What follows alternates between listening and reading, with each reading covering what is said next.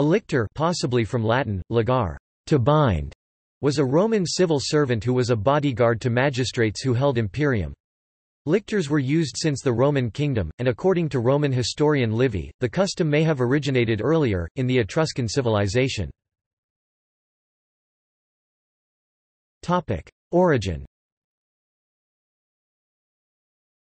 According to Livy, lictors were introduced by Rome's first king, Romulus, who appointed twelve lictors to attend him. Livy refers to two competing traditions for the reason that Romulus chose that number of lictors. The first version is that twelve was the number of birds that appeared in the augury, which had portended the kingdom to Romulus. The second version, favored by Livy, is that the number of lictors was borrowed from the Etruscan kings, who had one lictor appointed from each of their twelve states. Eligibility Originally, lictors were chosen from the plebs, but through most of Roman history, they seem to have been freedmen. Centurions from the legions were also automatically eligible to become lictors on retirement from the army. They were, however, definitely Roman citizens, since they wore togas inside Rome. A lictor had to be a strongly built man, capable of physical work. Lictors were exempted from military service, received a fixed salary of 600 sesterces, in the beginning of the empire, and were organized in a corporation. Usually, they were personally chosen by the magistrate they were supposed to serve, but it is also possible that they were drawn by lots. Lictors were associated with comitia curiata and, probably, one was originally selected from each curia, since there were originally 30 curiae and 30 lictors 24 for the two consuls and 6 for the sole praetor. Topic: Tasks. The lictor's main task was to attend as bodyguards to magistrates who held imperium. They carried rods decorated with fasces and, outside the pomerium, with axes that symbolized the power to carry out capital punishment. Dictatorial lictors had axes even within the pomerium. They followed the magistrate wherever he went, including the forum, his house, temples, and the baths. Lictors were organized in an ordered line before him, with the primus lictor, the principal lictor directly in front of him, waiting for orders.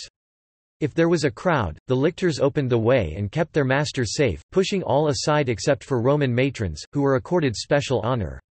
They also had to stand beside the magistrate whenever he addressed the crowd. Magistrates could only dispense with their lictors if they were visiting a free city or addressing a higher status magistrate.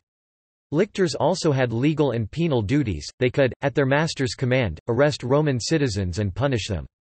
A Vestal Virgin was accorded a lictor when her presence was required at a public ceremony. The degree of magistrate's imperium was symbolized by the number of lictors escorting him. Dictator, 24 lictors outside the pomerium, 12 inside.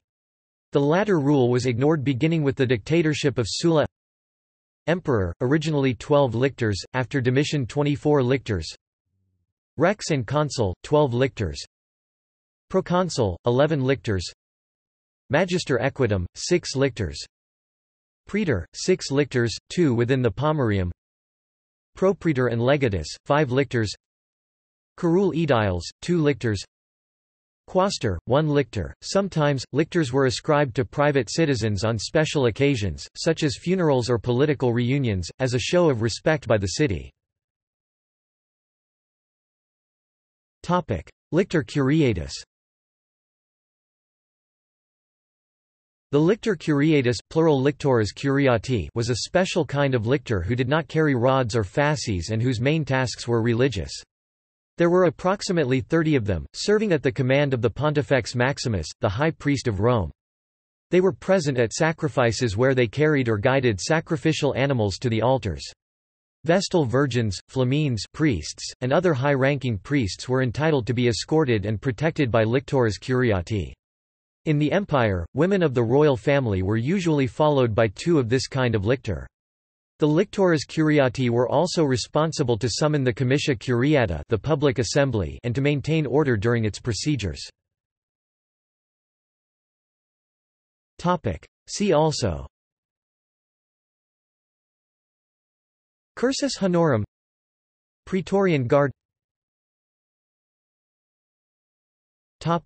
References. External links Livius. Org, Lictor